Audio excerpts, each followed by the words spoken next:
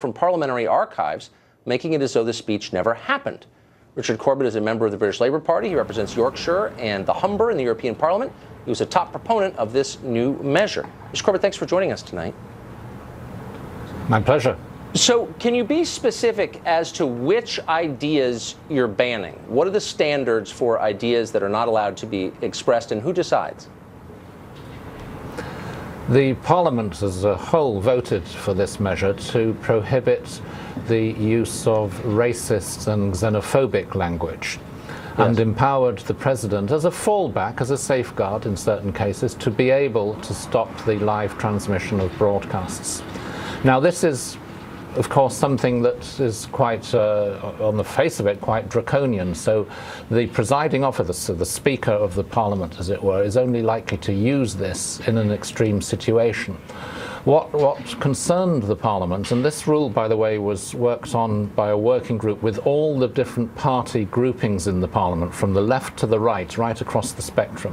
What they were worried about was what happens if in the European Parliament, which, by the way, is elected by proportional representation, so right. we have a very wide range of views in the European Parliament, what happens if a group of members come in, for instance, with banners and start saying things like, you know, all Jews to the gas chamber or something right. like that.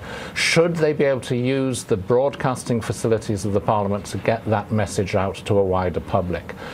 There was nothing the president could do at the moment. Now there is this option of being able to say, hang on a minute, this is not something that should be broadcast. live." But again, live. what's the standard? It'll still be there on the parliamentary record, but, um, but it won't be broadcast live. But I don't think that anyone, I mean, it goes without saying, no normal person would defend an idea like that. It's appalling. But mm -hmm. it, it, won't be limited mm -hmm. to that. It never is. So, what's the specific standard? What qualifies as racist or xenophobic. If I'm opposed to, for example, immigration into my country from a certain part of the world, that's a legitimate political point of view, but it could also be described as xenophobic. So would that be banned? And who, who decides?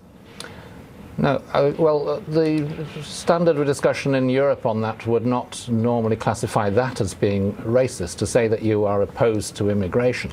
If you said, I'm opposed to any more blacks coming to my country, or we're too full of Jews, that would be racist or xenophobic, but and that would be questioned. Is, but I mean, not to say we... that you're against immigration.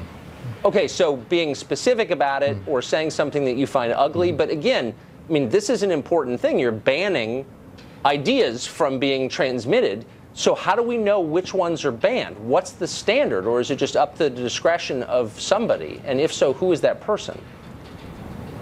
Well, it's in the immediate up to the Speaker of the Parliament, whoever is chairing the debate in the Parliament, who is elected by all members of, of Parliament and who is duty bound to act in a, in a reasonable and unbiased way.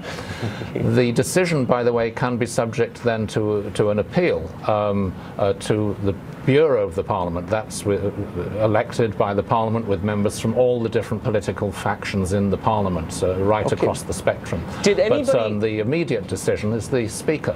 Okay, but did anybody acknowledge that this is a totalitarian measure? And wouldn't it be better just to make a counter case? If you hear something you find unattractive or wrong, isn't the traditional European response to counter it with what you think is right? And may the most reasonable position win in the eyes of those watching? Uh, until last week, this, these were measures agreed last year by the European Parliament. Until last week, when somebody ran with a news story on it claiming it was totalitarian, I had never heard any member of the European Parliament claim that this was a totalitarian measure. Preventing people from expressing their views in public? claiming that. Well, uh, would you well, agree? they're not prevented from expressing their views. They're simply forbidden. Uh, the Parliament may stop the transmission if they are using racist and xenophobic language. Now, the way that would be interpreted Whatever in the Parliament, which by definition is for pluralism and a plurality of views and, the, and for letting a variety of views be expressed, the standard of, of saying this is beyond the pale will be quite a high standard.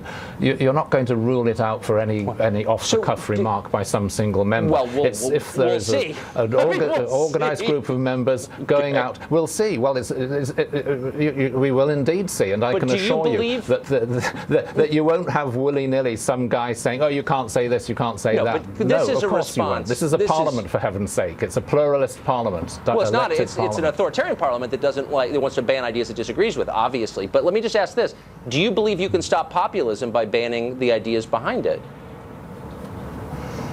Well, what we shouldn't do is give succor to those who want to spread hate speech, hate messages, demonizing particular races or religions.